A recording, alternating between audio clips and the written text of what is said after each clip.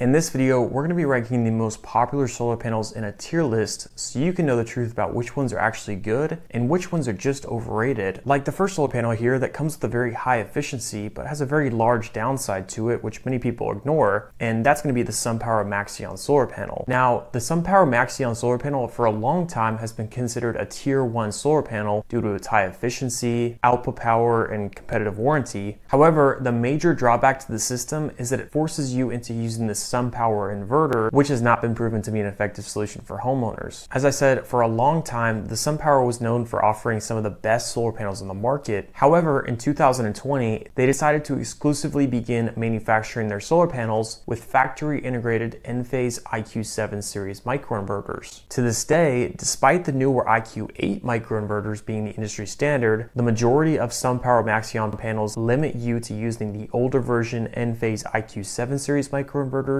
with their SunPower Energy Link combiner box on the wall. SunPower chooses to do this in order to sell their SunPower Complete Warranty, which has been a standard sales offering of theirs for a long time, though many homeowners need to understand that there are large drawbacks to the system. Not only do the IQ7 microinverters lag behind the newer version IQ8 microinverters in many ways, but the main drawback to the system is that you are using the SunPower instead of Enphase combiner box, making the system far less forward compatible if you were to want to get batteries batteries or potentially other products to pair with the system. So for those reasons, I'm not a big fan of the SunPower panel and I'm putting it towards the bottom of my list here and overrated. However, for this next panel, this is maybe just as popular as the SunPower panel and it's marketed everywhere. So I'm talking about the QCell G10 400 watt panel, which I'm going to rank here in the middle of my list in the B tier. QCell has quietly become the largest manufacturer of residential solar panels thanks to being an all-around very good panel at a good price. The 400 watt version of the G10 model comes in with an efficiency of 20.4%, a temperature coefficient of negative 0.34%, and a guaranteed power of 86% at year 25. For those reasons, the Q-Cell for five consecutive years has been the largest producer of residential solar panels due to overall making a very good panel at a good price. Many people do not know this about Q-Cell, but one of their biggest customers over the past few years has been Tesla Solar, who unknowing to many have been white labeling the Q-Cell panel as their own for a long time now. Now, if we want to talk about top tier panels, then next we have our first S tier panel in this video, that not only has incredible warranties, but to some people is all around the best residential solar panel on the market, and that is going to be the REC Alpha Pure solar panel. The 410 watt version of the Alpha Pure module comes in with an efficiency of 22.2%, a temperature coefficient of negative 0.24%, and guaranteed power of 92% at year 25. As I've said before, one of the best ways to judge the quality of a solar panel is to judge it by the warranties that it's able to provide, and specifically the amount of guaranteed power that the panel backs up with a warranty. And with the REC Alpha Pure, you have a 25 year warranty that guarantees 92% output at year 25. The Alpha Pure panel also offers an industry leading temperature coefficient, making it a great panel for hot areas like Texas, Arizona, and Southern California. Temperature coefficient simply refers to how well a solar panel will perform when temperatures are above average. In the case of solar panels, they produce at max efficiency when outside temperatures are 25 degrees degrees Celsius or 77 degrees Fahrenheit. And for every degree above that, they're slightly less efficient. What most people do not realize is that the temperature coefficient rating of a panel comes out to being one of the most important ratings within a solar panel. This is because in the summer months when solar panels are producing at their highest levels throughout the year, temperatures on the roof where the solar panels actually lay in some instances can exceed between 120 and 150 degrees Fahrenheit, impacting the production of the panels massively. For easy example, in the case of the REC Alpha Pure, the temperature coefficient is negative 0.26% for every degree degrees Celsius that the panel is hotter than 25. If temperatures on the roof were to be 45 degrees Celsius, that would mean that we simply multiply a negative 0.26 by 20, showing us that the panel will be producing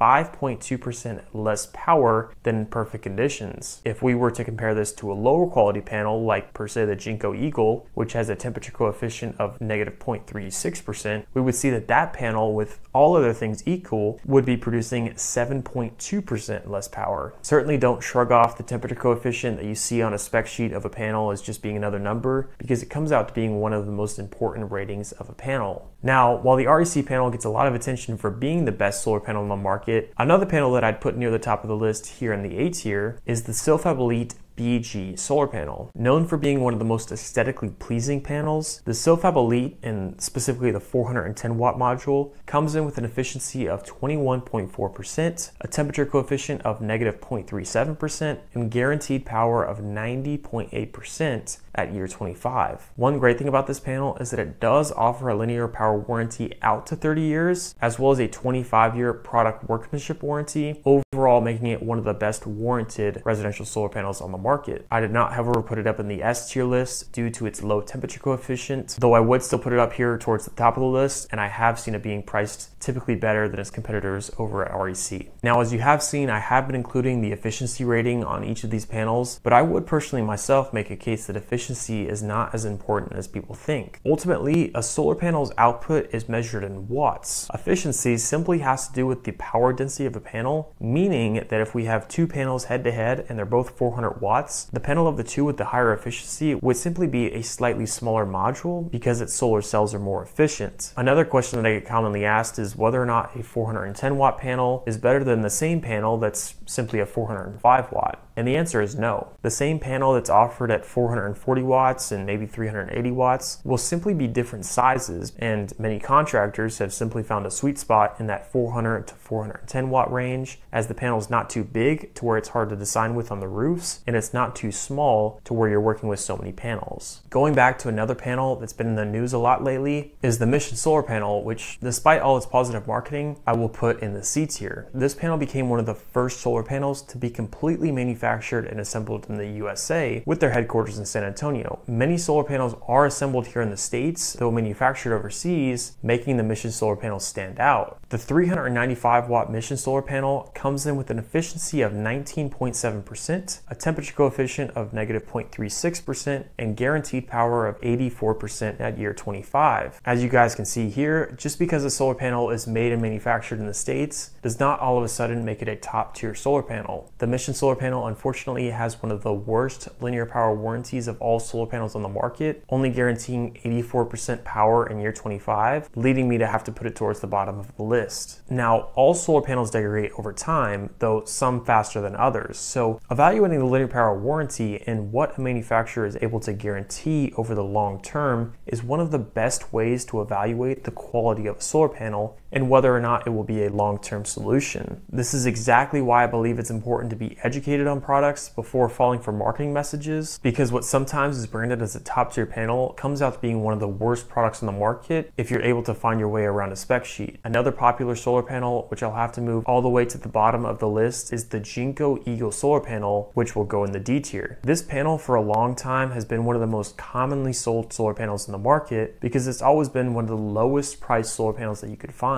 That, however, comes at a cost because this panel has one of, if not the worst linear power warranties in the industry with guaranteed power of only 80.2% at year 25. Again, the solar panel is a very popular option for solar installers who try to lead with the best price and hope that the person that they're selling does not ask to see the spec sheet. The 400 watt model of the Jinko Eagle comes in with an efficiency of 19.88%, a temperature coefficient of negative 0.36%, and that linear power warranty of 80.2% percent again, leading me to have to put this panel in the D tier. Now, for homeowners who are concerned about the durability of a solar panel, then the next panel, which can stand through big storms, the Aptos DNA 440 watt module is a tremendous option, which I would put in the B tier. The Aptos for a long time has been considered one of the most durable and strong panels with an industry leading snow and wind load ratings. This is a great option for homeowners in markets such as Florida, which can experience high wind speeds. And this is the option that I'd recommend for homeowners homeowners above per se the REC for that reason if you were to happen to live in those markets. The 440 watt Aptos DNA solar panel comes in with an efficiency of 20.21%, a temperature coefficient of negative 0.36%, and guaranteed power of 85.1% at year 25, with the warranty going out 30 years. I cannot, however, put this panel in the A tier simply due to its lower temperature coefficient. However, if you're looking for a very durable solar panel that can stand the test of time and be very durable through storms, this panel is going to be a great option for certain homeowners in particular areas of the country. And by the way, guys, if you are in the process for shopping for any of these solar panel options for your home and you would like to receive a quote for any of these systems, or maybe you already have a quote for one of these systems and you'd simply like to receive a comparison bid, feel free to reach out to us by booking a free solar consultation using the link below this video, and we would be happy to provide you with some options for your home. We work with a number of solar contractors all across the country to provide solar services to homeowners, and we have most of these solar panel options available. Going back towards the top of the list, another panel that I would stick in the S tier would be the Panasonic EverVolt solar panel. The 410 watt version of this module comes in with an efficiency of 22.2%, a temperature coefficient of negative 0.26%, and guaranteed power of 92% at year 25. Now, one of the things you may already have realized is that this panel has very similar ratings to the REC panel, and that is because in a lot of ways these are the same panel. Panasonic actually got out of the solar panel manufacturing business a few years ago in order to focus on making batteries. LG did the same thing. However, because Panasonic had a strong brand name, they decided to partner with REC and white label their product. As I talked about before with the Tesla solar panel, white labeling solar panels is a very common thing that happens in the industry, especially with the big brands who do not want to open up a manufacturing facility because they can simply use their name and brand to sell a lot of panels. And so as a result, this is what you've seen happen with Panasonic and REC, Tesla and QCell, and many other examples as well. Because all around this is still a tremendous panel, I would still put it here at the top of my list in the S tier. Now, the problem with ranking all of these solar panels is that solar panels alone are not everything that goes into a solar panel investment for your home. As I showed earlier, the SunPower Maxeon was a great panel. However, due to its inverter infrastructure, it wasn't really a great system altogether. There are many other things to evaluate when making the solar panel investment for your home. So that's why I went ahead and made this video going over the five common rooftop solar panel scams to avoid in